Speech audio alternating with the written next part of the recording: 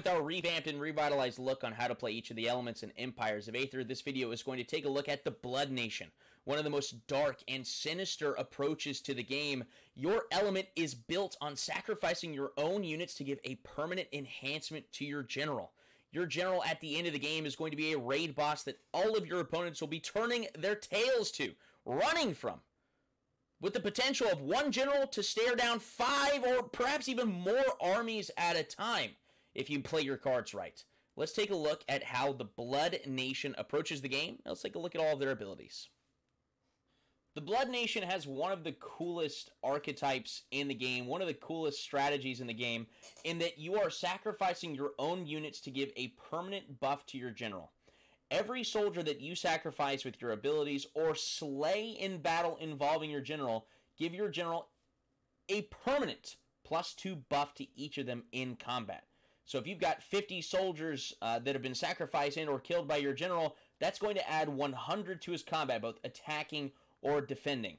And so you've got a lot of really, really powerful plays, swing plays where you can sacrifice a lot of soldiers in one turn to then turn the tides in a battle against your opponent and just increase his power even more so to where you are a boss monster on the board and opponents are running away from you.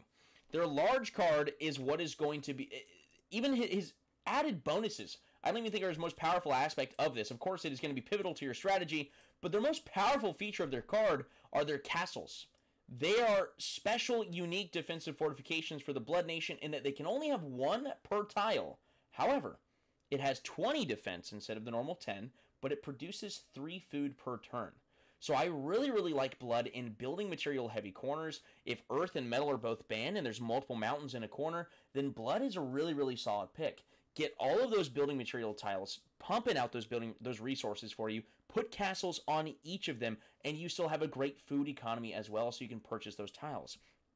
Additionally, every third tile you purchase gets a free castle. And then once we hit tier 2, our very, very important altar tile is going to come into play, a very, very dark, sinister tile. And I love their tier 1s. They're very versatile. Uh, you, you can see just really interesting cards. They are a unique experience. They're unique to play against as well. Red Shadow, named after one of our um, most, I would say, passionate players. Blue Shadow, I know, we'll, get there. We'll get his, his true Shadow in the game soon. But the Red Shadow has your general start at the temple, but you can't move till turn 4. If he was moving tile by tile, that does put him at the temple one turn in advance, so turn 4, he's moving where he should have been on turn 5. So it, it is an interesting play. And what this is going to be combined with is seeing red. Your general can move twice this turn. If your opponent has overstepped his bounds in the early game, well, then you can pounce on them, killing his soldiers or units or whatever it may be, and giving your general some extra strength. What I didn't mention before in the large card is that a general counts as five soldiers if your general is able to kill one. That's a big deal. They've gotten to the middle of the board by turn four, and your general just takes them out. But other very interesting points. They are an economic nation. And so if you get them at 10-10, it's not bad. I love Scarlet Fever being taken at 10-10 because you're not playing turn 1, but turn 2, you'll be at 23-23 because you're getting paid for your capital. You can buy all of the tiles around your capital, you can put castles on pretty much all of them, and you're set to go. I would not do this if I've got fire or lightning or glacier on my short side. Those are all really, really good matchups against me. Earth is another really, really good matchup against me, and those are all powerful nations. So it is kind of difficult there. Just watch your matchups, because really, in pretty much everything else, if I'm 10 10, I'm going first. My opponent might make a move on the short side, but I will get to answer before they can attack me, and that's really, really good here.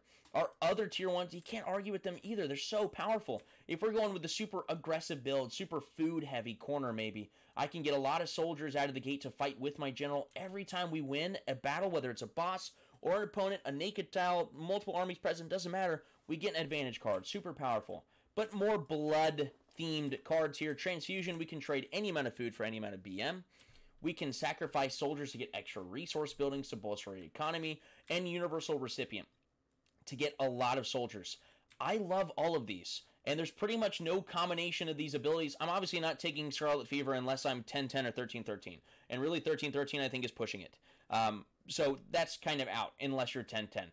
But all of these others, I don't think there's any poor combination of these abilities. There are the more common picks. Seeing red is an absolute staple nowadays. Transfusion is so good for if you've got an imbalanced corner. And then whether you're going to go economic or more sacrifice heavy, Universal Donor is great. But I've seen multiple players combine any number of these abilities and do super well in the early game. But that's not even where Blood thrives. You want to set up your castles in your opening turns, get that good economy going, but you want to get to tier 2 and tier 3 where you're going to really excel, where there is a meta to their abilities now. So let's just move these out of the way right now. Let's take a look at tier 2. At the tier 2 position, you can get an altar tile on any of your tiles. Uh, just one. And so if you've got a swamp or a desert or a forest, get it out of here. An altar has the resource production of a rainforest, and I can sacrifice soldiers here at any point. I can't just sacrifice them traditionally. I have to do it at an altar or with an ability associated here.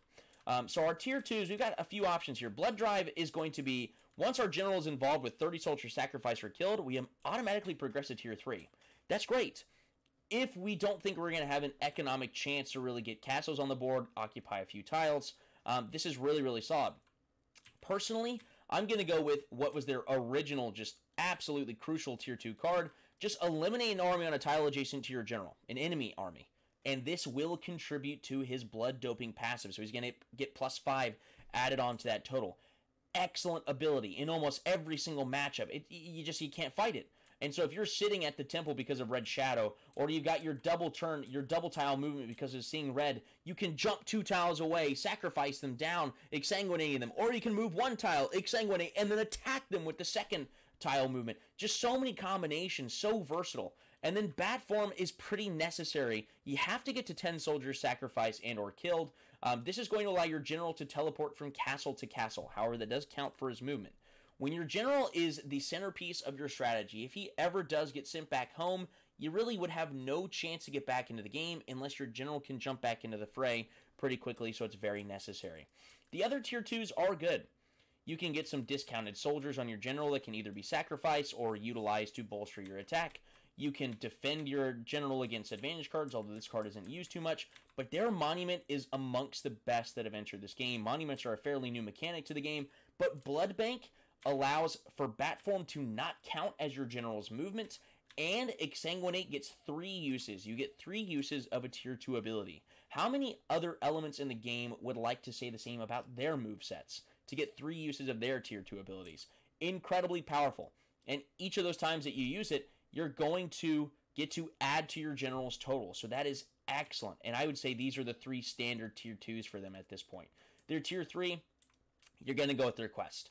Their quest is pretty easy to manage, especially if you end up fighting for Aether uh, at the temple on turn 7, using only your general win a battle against two different players to acquire one win condition. So you can have no soldiers, no armies in addition to that. Anytime your general just fights an enemy tile by himself, and he wins, this is going to count towards your win condition. But this is against two different players. So you do have to play the middle of the board a bit with this. And so there are counters to this pretty heavily. But if you're at the temple on turn 7 and there's two other players fighting for it, guess what? That counts as you fighting against two different people and winning. Because your general is probably going to be more powerful than them. Um, but you just have to get to tier 3 by then. And so our other tier 3s with this, it's hard to go wrong with any of them. The altar, we can train soldiers for one food. That's really, really hard to ignore because um, we can put a barracks on the altar as well. So that's 10 soldiers a turn for just a whopping 10 food. That's three castles on the board, which is going to be what you have likely. Uh, and then channeling Dracula, we can turn a soldier into an army. That army could either be sacrificed at the altar or we can attack. And additionally, your general can move two tiles every turn. Uh, Prince of Darkness allows your general to attack twice. So attack, win, and then attack again, which is solid. Great, hard to argue. I think you could substitute here um, because if you win a first battle against a an army with an opponent, it's really hard for them to stop you because every time you win, you get stronger. It's not like other elements where you have to invest resources in order to win that battle. No, if you lose, you just go back to where you were and you can try again the next turn most likely. And then if you win, then you just become stronger. So blood is very, very unique. However, your general is everything. And so you might find yourself waging war on one side, and the opponent on the other side uh, sees that your general is away from home and just takes you out. So you got to watch your back with the Blood Nation.